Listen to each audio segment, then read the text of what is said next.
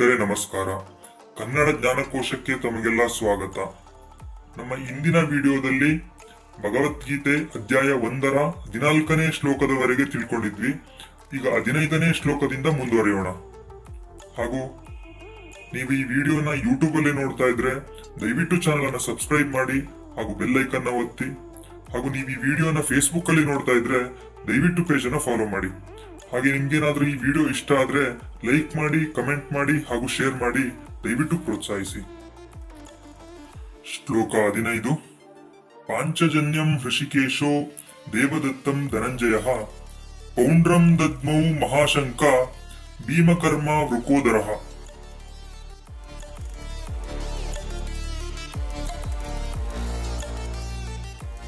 ಸ್ನೇಹಿತರಲ್ಲಿ ಕೃಷ್ಣನನ್ನು ಋಷಿಕೇಶ ಎಂದು ಕರೆಯಲಾಗಿದೆ. ಏಕೆಂದರೆ ಕೃಷ್ಣನು ಸರ್ವ ಇಂದ್ರಿಯಗಳ ಒಡೆಯನಾಗಿದ್ದನು. ಹಾಗೂ ಅರ್ಜುನನನ್ನು ಧನಂಜಯ ಎನ್ನಲಾಗಿದೆ. ಏಕೆಂದರೆ ಅವನ ಅಣ್ಣ ಧರ್ಮರಾಯನು ಯಾಗಗಳನ್ನು ಕೈಗೊಂಡಾಗ ಹಣದ ಕೊರತೆ ಉಂಟಾದಾಗ ಅರ್ಜುನನು ನೆರವಾಗಿರುತ್ತಾನೆ.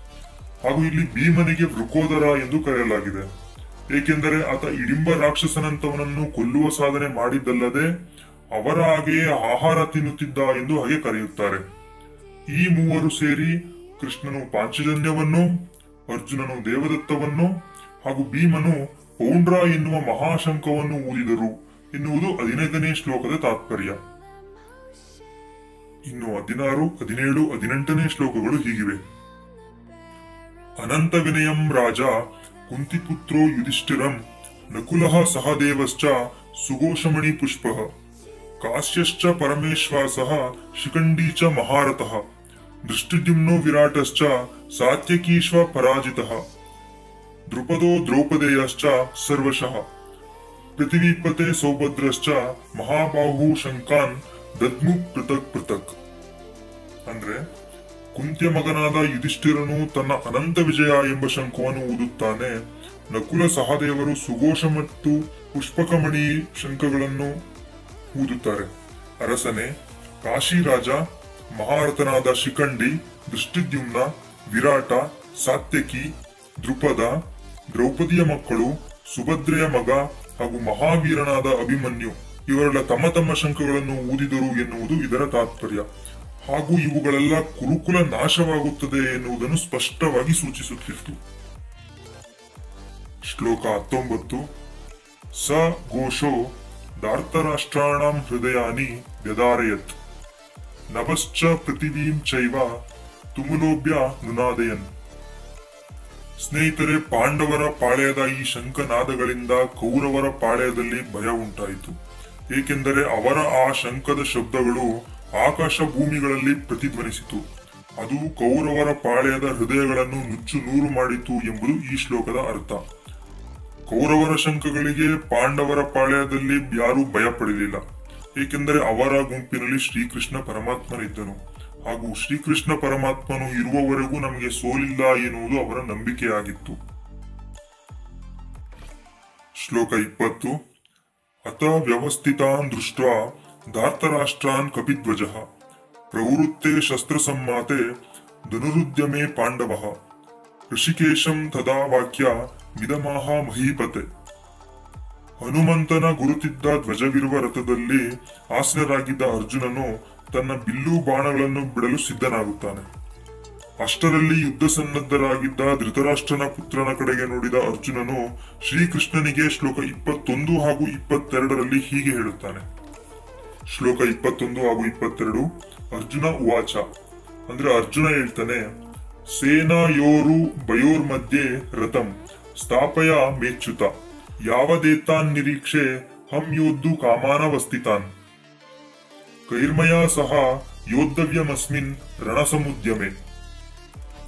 ಭಕ್ತರಿಗೆ ಸ್ನೇಹ ತೋರುವ ಗುಣವುಳ್ಳ ಕೃಷ್ಣನಿಗೆ ಅರ್ಜುನನು ಇಲ್ಲಿ ಅಚ್ಯುತ ಎಂದು ಸಂಬೋಧಿಸುತ್ತಾ ಹೀಗೆ ಹೇಳುತ್ತಾನೆ, ಹೇ ಅಚ್ಯುತ, ಯುದ್ಧ ಮಾಡಲು ಸಿದ್ಧವಾಗಿ ನಿಂತಿರುವ ಎದುರಾಳಿಗಳಲ್ಲಿ ನಾನು ಯಾರನ್ನೇ ಹೋರಾಡಬೇಕು?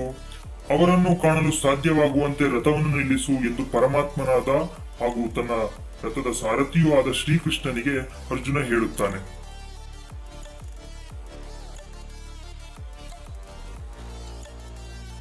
ಶ್ಲೋಕ ಇಪ್ಪತ್ಮೂರು. ಯೋತ್ಸ್ಯ ಮಾನಾನಾವೇಕ್ಷೆ ಹಂ ಯಾ ಏತೇತ್ರ ಸಮಾಗತಃ. ದಾರ್ತರಾಷ್ಟ್ರಸ್ಯ ದುರ್ಬುದ್ಧೇರ್ಯುದ್ಧೆ ಪ್ರಿಯ ಚಿಕಿತ್ಸವಃ ಅಂದ್ರೆ ದುರ್ಬುದ್ಧಿಯವನಾದ ಧೃತರಾಷ್ಟ್ರನ ಮಗನನ್ನು ಖುಷಿಪಡಿಸಲು ಇಷ್ಟಪಟ್ಟು ಯುದ್ಧ ಮಾಡಲು ಇಲ್ಲಿ ಯಾರು ಬಂದಿದ್ದಾರೆ ನಾನು ನೋಡಬೇಕು ಎಂದು ಅರ್ಜುನ ಕೃಷ್ಣನಿಗೆ ಹೇಳುತ್ತಾನೆ. ಏಕೆಂದರೆ ತನ್ನ ತಂದೆಯೊಡಗೂಡಿ ದುಷ್ಟ ಯೋಚನೆಗಳಿಂದ ಕೌರವರು ಪಾಂಡವರ ರಾಜ್ಯವನ್ನು ಆಕ್ರಮಿಸಿಕೊಂಡಿದ್ದಾರೆ ಎನ್ನುವುದು ಎಲ್ಲರಿಗೂ ತಿಳಿದ ವಿಷಯ. ಆದರೂ ಇಲ್ಲಿ ದುರ್ಯೋಧನನನ್ನು ಯಾರು ಬೆಂಬಲಿಸುತ್ತಿದ್ದಾರೆ ಎಂದು ತಿಳಿದುಕೊಳ್ಳುವ ಕುತೂಹಲ ಅರ್ಜುನನಿಗೆ ಉಂಟಾಯಿತು. ಶ್ಲೋಕ ಇಪ್ಪತ್ನಾಲ್ಕು. ಸಂಜಯ ಉವಾಚ, ಅಂದ್ರೆ ಸಂಜಯ ಧೃತರಾಷ್ಟ್ರನಿಗೆ ಹೇಳ್ತಾನೆ ಏವ ಮುಕ್ತೋ ಋಷಿಕೇಶೋ ಗುಡಕೇಶೇನ ಭಾರತ, ಸೇನೆಯೋರು ಭಯೋರ್ವಿದ್ಯೆ ಸ್ಥಾಪಯಿತ್ವ ರಥೋತ್ತಮಂ.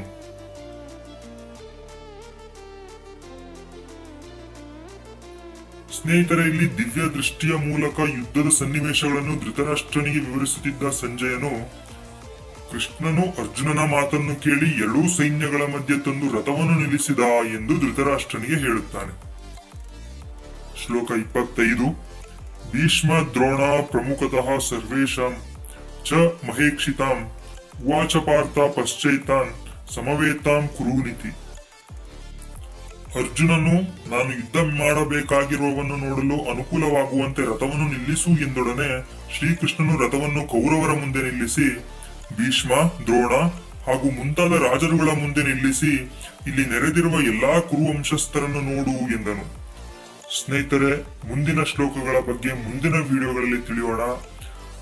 ದಯವಿಟ್ಟು ನಮ್ಮ ಯೂಟ್ಯೂಬ್ ಚಾನಲ್ಗೆ ಸಬ್ಸ್ಕ್ರೈಬ್ ಮಾಡಿ ಹಾಗೂ ಬೆಲ್ಲೈಕನ್ನ ಒತ್ತಿ ಹಾಗೂ ನಮ್ಮ ಫೇಸ್ಬುಕ್ ಪೇಜ್ ಅನ್ನ ಫಾಲೋ ಮಾಡಿ. ಧನ್ಯವಾದಗಳು.